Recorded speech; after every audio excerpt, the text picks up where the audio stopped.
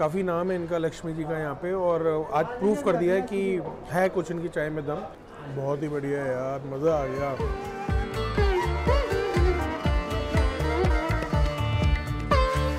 Guys सब्ज़ी तो बहुत ही ज़बरदस्त है इनकी और पूड़ी भी बहुत अच्छी है बहुत कस्ता है। तो दोस्तों बनारस आके अगर बनारस की चाय नहीं पी तो क्या पिया?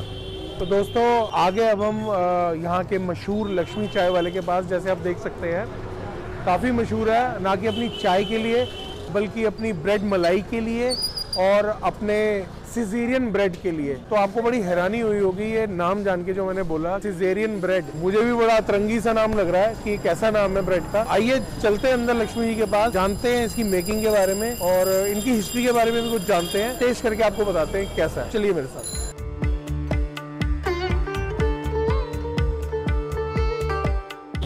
दोस्तों, आ चुके हैं हम लक्ष्मी चाय वाले के ओनर के पास और जानते हैं इनके बारे में। तो भैया, क्या नाम है आपका? मेरा नाम सुनील कुमार चौरसिया है। जी बताइए कुछ अपनी चाय के बारे में कितने साल से हैं यहाँ पे और ये देखिए ये ने मेरे पिताजी ने चालू किया था। और पहली दुकान को मेरे पिताजी जो लक्ष्मी चाय वाले के नाम से है वो उन्हीं का नाम था। ये कोई नाम नहीं था। उन्होंने इतना मेहनत किया कि आज उन्हीं का नाम सिद्ध हो गया लक्ष्मी चाय वाले के नाम से। अच्छा। और ये पचहत्तर साल हो गए दुकान को। अच्छा पचहत्तर साल पुरानी शॉप है हाँ, जी जी। काफ़ी पुराने हैं आप। जी जी। अच्छा। पहले हमारे यहाँ चाय हमको नहीं लोग बताते पाँच पैसे का बिकता था। अच्छा आपके पिताजी के टाइम हाँ दस पैसे का बिकते पहले इनके भी पिताजी आते हैं। ये देखिए दूसरी तीसरी पीढ़ी यहाँ आ रही है। अच्छा। ये लोग हैं जो। अच्छा। हाँ और हमारे यहाँ मक्खन टोस्ट है वाइट बटर अपना खुद का पर्सनल है डिश और जो इसका मसाला है वो खुद बनता है। और वाइट बटर ब्रेड मलाई के बारे में सुना है। वो मलाई तो दूध का है। अच्छा वो आप ब्रेड हाँ वो दूध जी जी जी। वो दम कोई इसमें वो मिलावटी है मतलब ऐसा नहीं। मलाई खत्म तो खत्म। अच्छा। ये नहीं कि अलग से मिल जाएगा आप कितने लोग कहते हैं अरे हमसे पैसा ले लो दे दो ऐसा नहीं कुछ नहीं। अच्छा। नहीं है तो और नहीं एक मैंने आपकी और आइटम के बारे में सुना है जिसका नाम है सिजेरियन ब्रेड हाँ। तो इसके बारे में कुछ बताइए बड़ा तरंगी सा नाम है। उसका नाम जैसे हम ही शुरू हम ही चालू ही इसको किए थे। अच्छा आप ही चालू जी किए इसके। हम ही है मतलब। अच्छा आप ही करता धरता है हाँ, मतलब उसको हम मतलब मज़ाक मज़ाक में देखे टेस्ट करते हैं कैसा तो क्या लॉजिक है सिजेरियन ब्रेड के पीछे? ब्रेड के पीछे ये लॉजिक है कि लोग आजकल लेडीजों को बटर ज़्यादा अच्छा नहीं लगता है। अच्छा। आप देखोगे लेडीज़ अरे ये बहुत ज़्यादा है कम करो ये है, है हाँ, आजकल की औरतें। तो हमके कुछ ऐसा बना देते हैं मक्खने ना दिखे।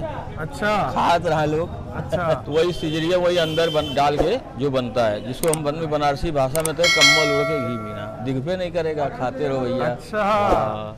तो एक बात बताइए मुझे इसका भी एक तरीका होता है अलग से हाँ। बीच में से आप ब्रेड को काट मोटा ब्रेड रहता है बीच फिर अंदर आप हाँ, मक्खन लगाते हैं इसको फ्राई फिर से किया जाता है बट आप कहते हैं लोगों को दिखता नहीं है मक्खन उसमें पर फील तो होगा। हाँ हाँ पूरा फील होगा। मुँह में जाएगा तो अच्छा, फील होगा एक मक्खन आएगा घी की तरह। वही तो कह रहा हूँ फील तो होगा ही। मतलब ऊपर नहीं दिखता ना ओपन नहीं दिखता है क्या? अच्छा। अच्छा भाई तो आप ही एक डालवा देखिए उस पर सारा लगेगा कुछ है ही नहीं वो तो मैं अपनी जनता को व्यूअर्स को दिखाऊँगा ही मेकिंग उसकी।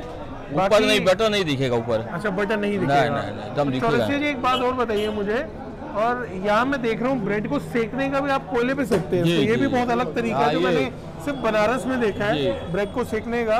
तो ये ब्रेड के इसमें साइज़ भी देख रहा हूँ बड़े अलग से साइज़ है। ये शुरू से पिताजी ने जो चीज़ रखा है वही हम लोग चला रहे हैं। अच्छा वही आपने कंटिन्यू हाँ, लेगेसी को आप यही ऐसे बढ़ा बस रहे इसी हैं। तरह बड़ा अपना कोई नया नहीं। अच्छा कुछ नहीं है नया सिर्फ़ आपका सिजेरियन है। बस बस आओ कोई नया अभी कार्य नहीं हुआ है। अच्छा अभी कोई कार्य नहीं हुआ। और अगर मैं अब आपकी चाय की बात करूँ जो कि सबसे इम्पोर्टेंट पार्ट है जिसके लिए हम दूर से आए हैं आपके पास जी। चाय के कोई मसाला बताइए कि में कैसे मसाला नहीं देखिए ऐसा है कि दूध बढ़िया पत्ती बढ़िया आपका रहेगा। अच्छा।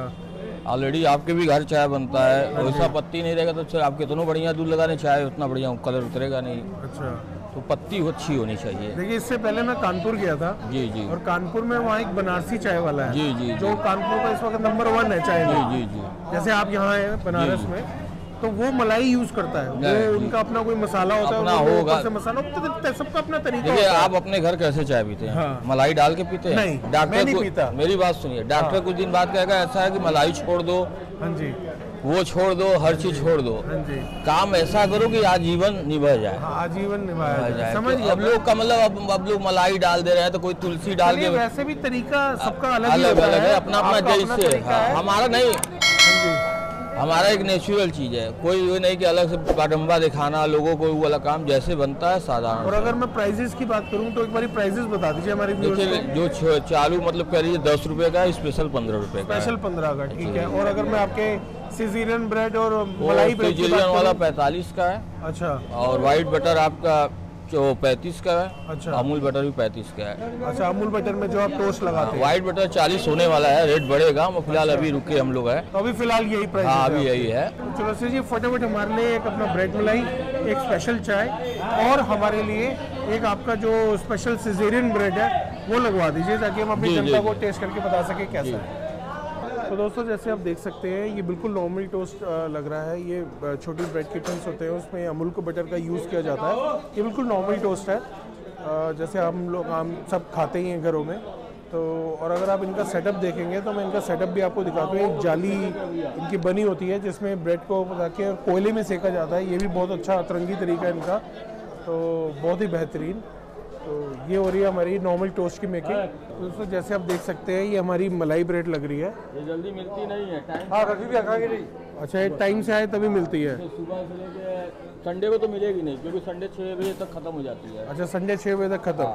दोस्तों अब इन्होंने डाल दी है चीनी। अब इसको लीजिए। और ये हो गई हमारी मलाई ब्रेड तैयार। और एक मेरा सिजीरियन ब्रेड लगवा दीजिए आप। हाँ, पहले एक, लेते रहिए। हाँ। उनको वीडियो बनाया इनको देख हटा दीजिए। सोनू है। ये हमारी सीज़न ब्रेड लगने जा रही है जैसे आप देख सकते हैं। और इसमें लगा रहे हैं अंदर से मक्खन। ये अमूल मक्खन यूज़ किया आपने? हाँ वो आपके ऊपर है जैसा चॉइस है। नहीं नहीं कोई नहीं। तो गाइज़ ये बाहर की जगह अंदर लगता है इसलिए इसका नाम सिजेरियन रखा गया है। तो ये भी हम ट्राई करते हैं। और अब इसको इसमें रख के ये सेका जाएगा। बस जैसे आप देख सकते हैं इसको अब सेका जा रहा है कोयले पे। ये भी बहुत अच्छा कंसेप्ट लग रहा है मेरे को। इवन इनकी चाय भी इसी में खोलती है कोयले में ही। तो कोई गैस का यूज़ नहीं होता यहाँ पे। ये ऑलमोस्ट रेडी होने वाली है। तो चौरसिया जी कितना टाइम लगता है इसको सिखाने में? कम से कम चार मिनट। कम से कम चार मिनट अच्छा ताकि वो अंदर से मेल्ट हो जाए। समझ गया मैं। चौरसिया जी अगर मैं टाइमिंग की बात करूँ शॉप के आपके तो एक बारी टाइमिंग भी बता दीजिए मेरे को। टाइम देखिए सब ये आ रहा है। चार बजे से लेके रात बारह बजे तक। अच्छा। और रविवार को सुबह चार बजे से लेके दोपहर बारह बजे तक है। दोपहर बारह बजे तक। चौरसिया जी मेरी एक स्पेशल चाय भी लगवा दीजिए इसके साथ साथ ताकि मैं तीनों चीज़ों को ट्राई करके अपनी ऑडियंस को बता सकूँ टेस्ट कैसा है। ये क्या डाल रहे हैं आप? ये मसाला। ये आपका मसाला होता है। ठीक है। तो गाइस ये इनका मसाला होता है जो ऊपर से डालते हैं। जैसे आप देख सकते हैं कि दोनों चीज़ें मेरी रेडी हैं। मेरा ब्रेड मलाई और सिजेरियन ब्रेड और अब मैं अपनी चाय के लिए इनको बोलता हूँ स्पेशल चाय के लिए। तो भैया जी, ये आ गई हमारी स्पेशल चाय।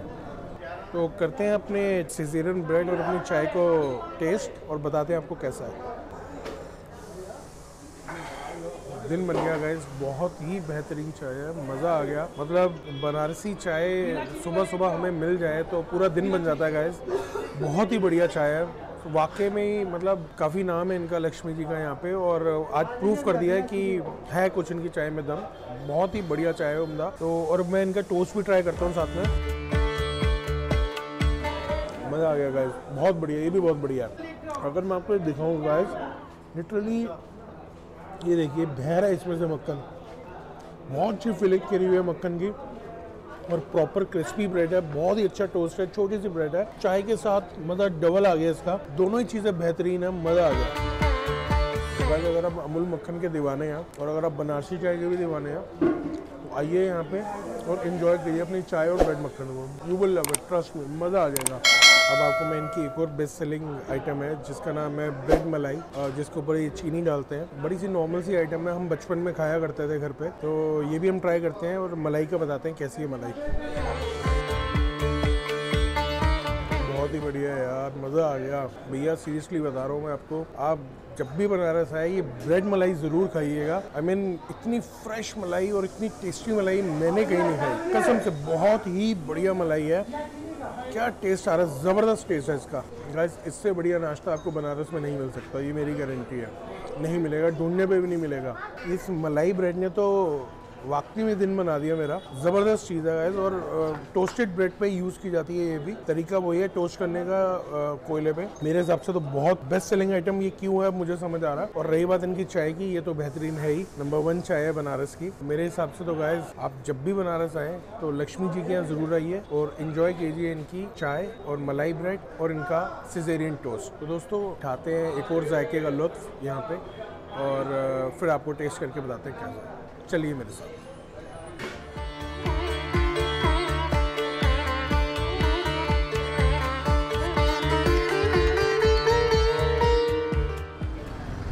तो दोस्तों, आ गए बनारस के एक और फ़ेमस जॉइंट पे, जिसका नाम है श्री राम भंडार, जैसे आप ऊपर देख सकते हैं। और कम से कम 125 साल पुराना जॉइंट है ये, जो कि अपनी कचौड़ी और अपनी सब्ज़ी के लिए बहुत ही मशहूर है। कि एक और आइटम है जो काफ़ी मशहूर है, जो लोग कचौड़ी के साथ खाना पसंद करते हैं, इनकी जलेबी। तो करते हैं दोनों ट्राई। पहले मैं आपको दिखा देता हूँ, ये पूड़ियों की तैयारी हो रही है इस वक्त। जैसे आप देख सकते हैं। गाइज़ एक्चुअल में दिल्ली में इसको बेडमी पूड़ी बोला जाता है बट ये लोग बड़ी कचौड़ी के नाम से इसको जाना जाता है। और जो इनकी छोटी कचौड़ी होती है, वो फ़िलहाल ख़त्म हो चुकी है। इनकी छोटी कचौड़ी में आलू की फीलिंग होती है और इसमें दाल की पीटी की फीलिंग होती है। तो जैसे आप देख सकते हैं कि तैयारी हो रही है। भैया बताएँगे किस चीज़ की सब्ज़ी है? अच्छा पनीर आलू और छोले। सब्ज़ी रोज बदल बदल के बनती है। अच्छा। रोज बदल बदल अच्छा सब्ज़ी आपकी रोज बदलती है। अच्छा। एक सब्ज़ी हमेशा अच्छा। ये भी मैंने पहली बार देखा है कि रोज सब्ज़ी चेंज होती है। ये तो यूजली सबके एक ही सब्ज़ी चलती है। हाँ नहीं नहीं स्पेशल है तभी आया हूँ। तो दोस्तों, जैसे आप देख सकते हैं कि इनकी एक और बड़ी अजीब सी बात मुझे लगी है और अच्छी बात है कि रोज़ दिन के हिसाब से नई सब्ज़ी होती है। आज फ़िलहाल अगर मैं इनकी बात करूँ तो इसमें ये यूज़ करते हैं आलू, पनीर मटर और इनकी एक खट्टी चटनी होती है, जो कि वो यूज़ करते हैं। तो खा के देखते हैं गाइस फिर मैं आपको बताता हूँ। इसकी एक बाइट लेता हूँ। पूड़ी की बात करूँ तो काफ़ी खस्ता पूड़ी है और काफ़ी करारी है। खा के बताते हैं आपको? सब्ज़ी तो बहुत ही ज़बरदस्त है इनकी और पूड़ी भी बहुत अच्छी है, बहुत खस्ता है। दाल की पीटी जो इसमें यूज़ की गई है, बहुत अच्छा फ्लेवर आ रहा है इसका। और रही बात आपकी सब्ज़ी की तो गैस सब्ज़ी का कोई मुकाबला नहीं है। बहुत अच्छी सब्ज़ी है। बहुत बढ़िया। गाइस देखिए जैसे मैंने आपको कहा था कि लोग पूड़ी को कचौड़ी बोलते हैं यहाँ पे, बड़ी कचौड़ी के नाम से इसको जाना जाता है। और एक्चुअली में जो हमारे यहाँ छोटी कचौड़ी होती है, उसको ये छोटी कचौड़ी ही बोलते हैं। अगर मैं पूड़ी की बात करूँ, वाकई में देसी घी से जो एक फ्लेवर आता है चीज़ का, वो हमेशा ही सही बेहतरीन रहता है। ये भी बहुत बेहतरीन है इसका फ्लेवर और रही बात सब्ज़ी की, ये भी बहुत बढ़िया है। मतलब जो चटनी का इसका फ्लेवर आ रहा है, जिससे एक फ्लेवर एड ऑन हुआ है जो इस सब्ज़ी में, मज़ा आ गया। बहुत ही चटकोरी सी सब्ज़ी है इसकी। तो गाइज़ हंड्रेड परसेंट रिकमेंड है जगह। श्री राम भंडार, वैसे तो दोस्तों ये ऑलमोस्ट 125 साल पुरानी शॉप है बनारस की और बहुत ही मशहूर है। अभी आप जैसे देख सकते हैं कि इस वक्त 11 बज रहे हैं और इनके पास ऑलमोस्ट सब कुछ खत्म है। थोड़ा सा इनका माल रह गया बस तो मैं आपसे यही रिक्वेस्ट करूँगा गाइज़ जब भी यहाँ पर आए तो सुबह टाइम से आइए। नौ बजे तक यहाँ पे आ जाइए आप तभी आपको यहाँ पे सब कुछ मिलेगा, वरना दस ग्यारह बजे तक यहाँ पे एंड हो जाता है हर चीज़ का। तो बहुत ही बेहतरीन नंबर एक है बनारस की पूड़ी और सब्ज़ी। तो दोस्तों, कचौड़ी सब्ज़ी खा के तो मज़ा आ गया। अब इनकी एक और आइटम है, देसी घी से बनती है इनकी। ये है इनकी जलेबी। छोटी सी जलेबी होती है और बहुत पतली सी जलेबी है, बहुत करारी है। तो एक बार मैं ये भी खा के देखता हूँ। अकॉर्डिंग टू हिम ये भी बहुत अच्छी आइटम है। तो बताते हैं आपको खा के कैसे। अच्छा क्रंच आ रहा है इसमें। बहुत ही पतली है और बहुत लाइट है।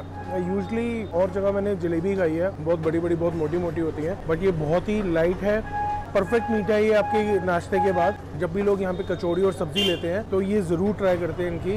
एज अ मीठा ये टेस्ट करते हैं इसको। और ये भी बहुत अच्छी आइटम है। और सबसे बड़ी बात है कि इसको भी देसी घी में ही बनाया जाता है। तो गैस आइए आप भी आप किस चीज़ का वेट कर रहे हैं? आइए राम भंडार पे और इन्जॉय कीजिए इनकी कचौड़ी सब्ज़ी और इनकी जलेबी। बहुत मज़ा आएगा। तो, तो दोस्तों करते हैं अपनी वीडियो का एंड महादेव के जयकारे से। और मिलते हैं अपनी सीरीज़ जायका उत्तर प्रदेश के नेक्स्ट एपिसोड में। तब तक के लिए हर हर महादेव।